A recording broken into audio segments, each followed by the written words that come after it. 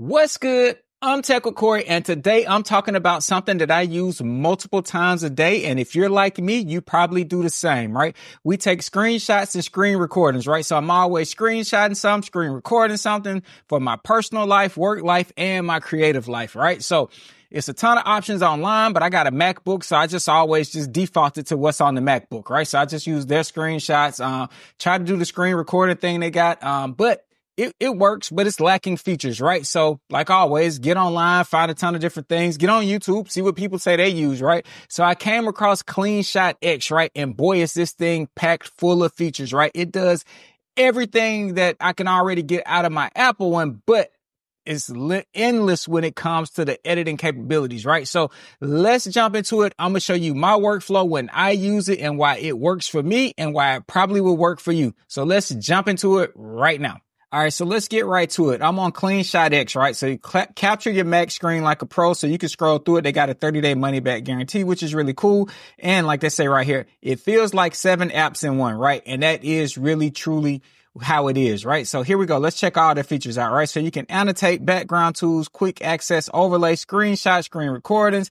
They got a cloud, floating screenshots, text recognition, all that little bit, right? So if you scroll down, you can see you can annotate. So when you take a screenshot, you can just go ahead and annotate directly on it, right? So it all works perfectly fine on that end, right? So they even got the best part for me is this thing here. Like uh, they got all these tools here, rectangle flipped and all that. But what was game changing for me was blur because I would take screenshots and have to go open Photoshop up to blur something and go through all of that, right? So here we go. Let's just take a screenshot here and show you what I'm talking about, right? So here we go. Screenshot right here. We're going to take this, boom.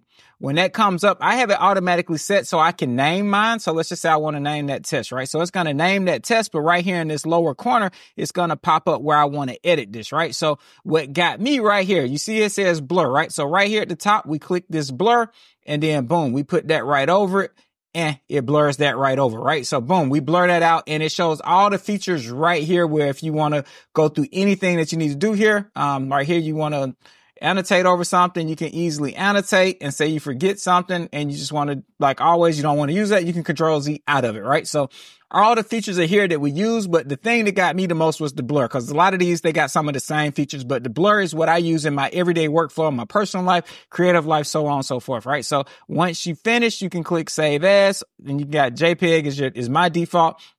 You can save it and you're good to go, right? So let's close that out right there and save that out.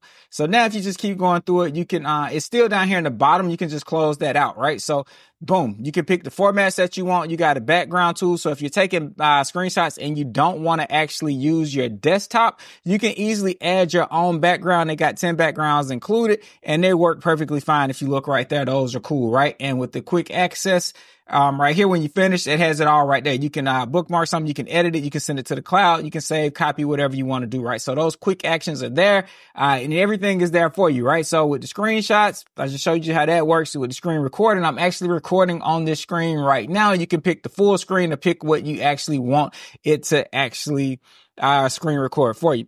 And they got advanced capture modes where if you want to do the crosshair to magnify, you want to freeze the screen, so on and so forth.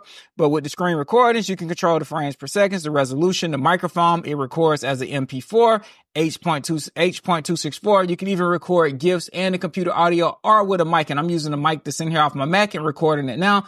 And it actually works perfectly fine. And right here, as you see, when you finish one, when you start off, you pick the screen, uh, the, the dimensions you want this in and so on, so forth from there. And you want the mic on and uh, if you want the pointer and all of that, or you can record a GIF or record a video and everything is there, right? And when you have your edits, they say you can capture the keystrokes, you record your camera if you want your camera on and all these things you can change from the color to the size to the style to the position.